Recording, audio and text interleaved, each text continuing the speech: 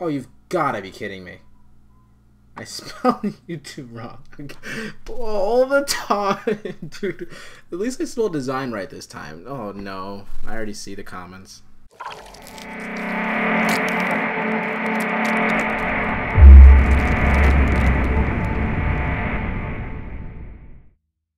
Yo, what is going on guys? It's your boy C here, bringing guys in a Photoshop tutorial here today. Actually brings a cool little picture influence, very highly uh, like professional looking, like simple lighting stuff for this banner. I have no clue what the title is going to be. Basically, it's just taking some pictures, putting some simple lighting effects on it, and making it look very, very nice and clean and professional. So we have here, I have an example for Vossen Wheels. I did this a couple weeks ago. I had some crazy great uh, feedback on it. Actually, the, the Vossen Wheels company actually saw it themselves. I did it for some practice. I did it for one of my favorite companies, and they actually saw it, which was just like a freaking awesome plus. So you never know what you can really do. Like I said before, you can always do these little practice banners or practice uh, advertising banners or practice whatever, and just maybe do it for a company. You never know; they might just see it, which is also pretty cool. So anyway, the example here, I actually took the same exact, uh, what do you call it, the, for the previous tour I did where I did the uh, advertisement poster design with the LeBron James one, where I told you guys I'm no longer using the eraser to blend things in in the background. It's more of the pen tool. That's what I did for this tutorial as well. Um, I just, you know, took it, you know, took the, uh, the wheel itself,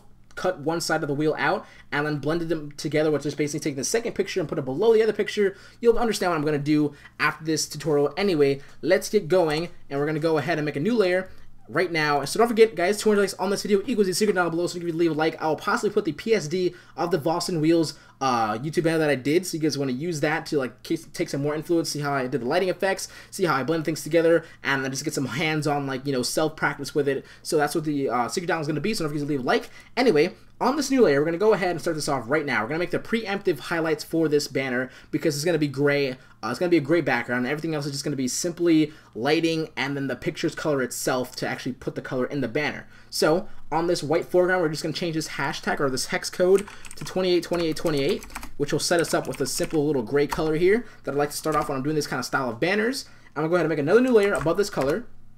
We're going to use B on our keyboard to bring up the brush and we're going to go ahead and change the foreground color now from gray to white. And we're going to go ahead and just do the simple little highlights here. And you can use a brush if you have brush highlights. I'm just, I'm just going to use a simple soft brush for the highlights. And we're going to go ahead and just take this from normal and put it to overlay. And then right now we're just going to control click on these both two layers. We're going to go and control J to duplicate and then control E to merge together.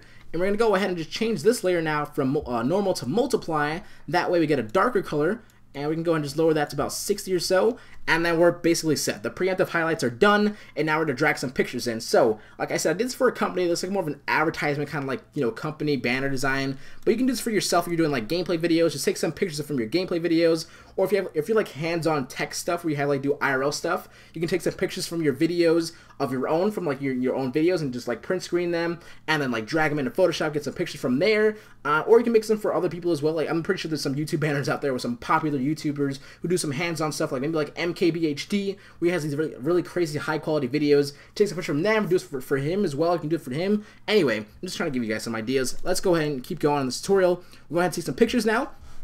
I'm going to use the same company. I'm going to use different pictures though this time. I have I have different uh, colored actually wheels this time. I did it for the first time I did it. I only did gray graphite uh, like wheels, but this time I took some colored ones. So there we go. Let's go ahead and just take number one here. I'm going to drag it in like so, and we're going to go ahead and we're going to Control T free transform it up, and then we're going to just basically shift click and then center this very, very nicely. So we're going to bring this over here. And like I said, the first time I did this, and actually the advertisement banner design I did for LeBron James, I talked about start and end. So the way I blend things together is like I use pen tool only right now. Like I'm no reason not I'm not using the eraser and like erasing an edge there and then putting the the, the picture and trying to erase and blend. Like, that's too much work. And at the end of the day, it does not look as clean as actually just taking the pen tool and maybe following around a curve. So like for this example here, I'd probably use uh, the wheel to actually just curve around, and then I'll just cut the, this part out right here on this side right click, make selection, enter delete. I'll probably do something like this and then put the next picture below this one. But you know, this is what I would do for like a wheel. But if I was doing for other things that don't have like a uh, like a defined start, start and end point, I would go ahead and do something like this this time. So I'm gonna go ahead and go all the way back.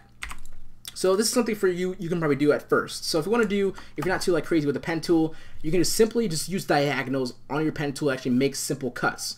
So I'm just gonna go ahead and click once and click on a diagonal like little like edge here. I'm gonna go ahead and go around the picture here, right click, make selection, press enter on my keyboard or OK, and then press delete.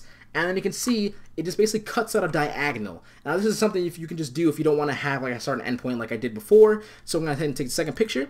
I can just drag it below it now, and this will just continuously look very clean, even how many pictures I put. It'll just look clean no matter what. So I'm going to go ahead and just shift and drag that over here, put it back over here, and then I will go ahead and do it again. So the diagonal uh, pen tool cut, just like so. Right click, make selection, delete, press OK, and then I'll do this a couple more times, so like something like this. So this is looking pretty good right now. I'm just doing, I'm only using diagonals. I'm not using like the uh, like following a certain endpoint. It looks still looking really really nice. You can do the vertical if you wanted to. You can you don't have to do like diagonal. You can do a horizontal. Just having fun with the pen tool really. And gonna go ahead and do this again. Make selection, delete. and this actually this diagonal cut was a little off, so I would have to fix this. I don't like how that looks. Go ahead and fix that. Just click on the appointment control, and then I'll fix it. There we go. That looks a lot more better. And I'll go ahead and just set the fourth one in. And I might not have to cut this one in. I can just shrink it. I can just leave it like so because it'll just start like this. There we go. Yeah, perfect. So, you can see what I did there. It was very, very simple stuff. I just literally used the pen tool to cut in a diagonal line, which gave this like really nice cuts in the background of the pictures now. So it just looks very nice and clean, formal. I didn't I didn't use a start and end point like I said. I use I didn't cut around the wheel. This looks fine itself. So, what I'm going to do now is I'm going to go ahead and contr uh, Control G on these layers. So I'm going to hold Shift and click on all these layers. Control G to group them up. I'm just going to name this Pictures for now.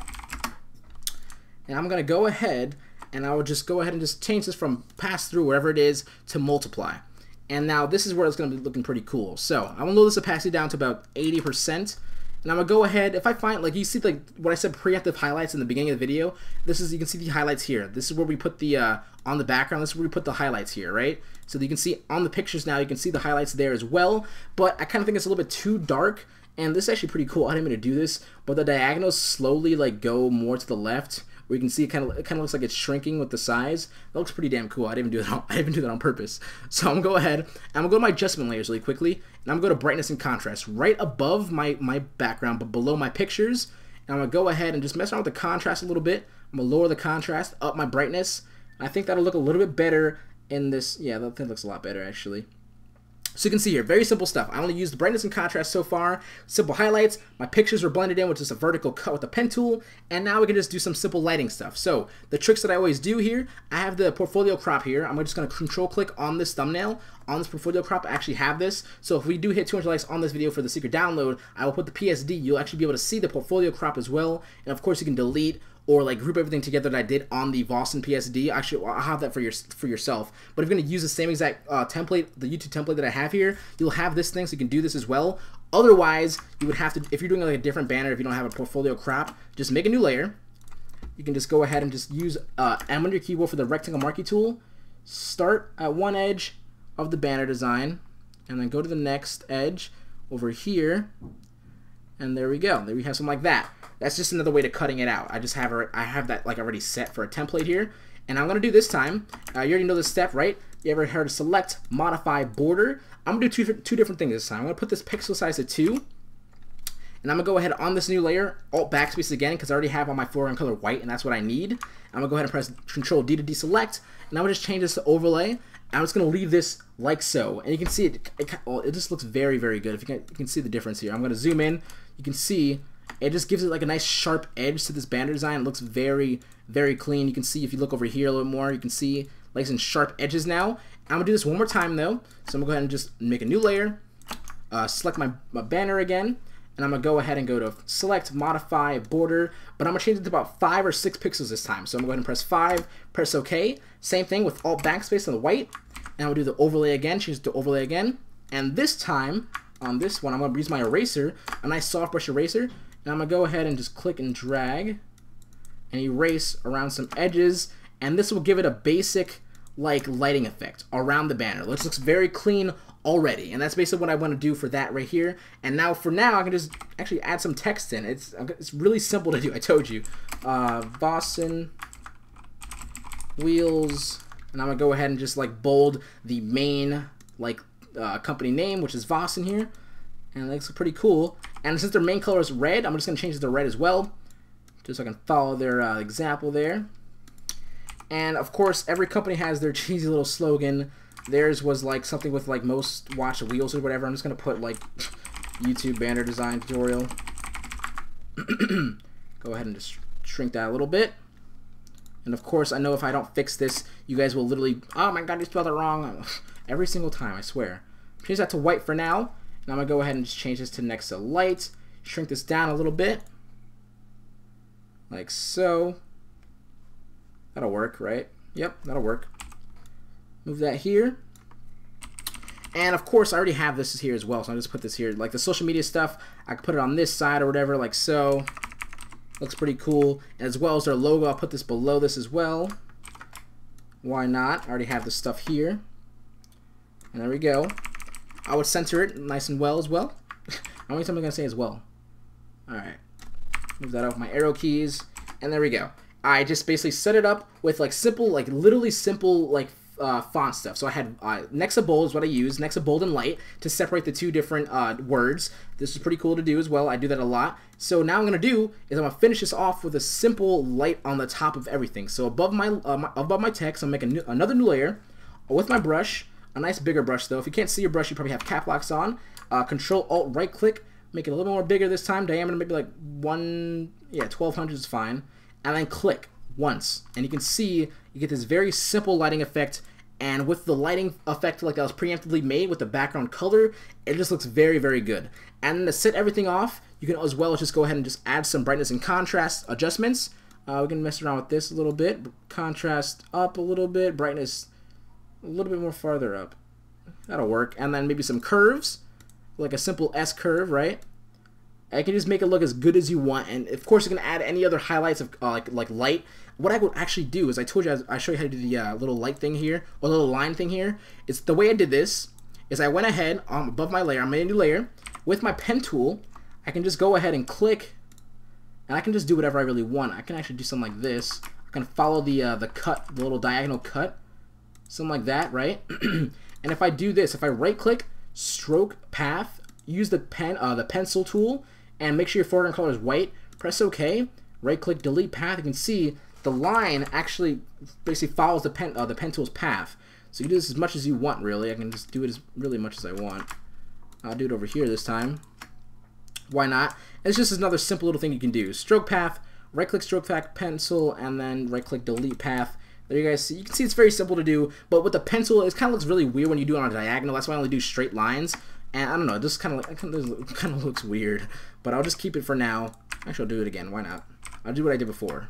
Boom, boom, boom, and like follow like that. That'll work. Whatever, right? It's cool. Right click, stroke path, pencil, okay you can see that there. That's how I did the little line thing. So there we go. It looks very clean as well. Like it's just very I don't know it looks very freaking good. When you take your time on it if you put highlights like on the wheels like what I did was before at the end of it I kind of put like or below everything like beside the pictures. Above the pictures I took a white brush and since I had like a focus on the wheels I took the white brush I went around and kind of like colored the wheels a little bit.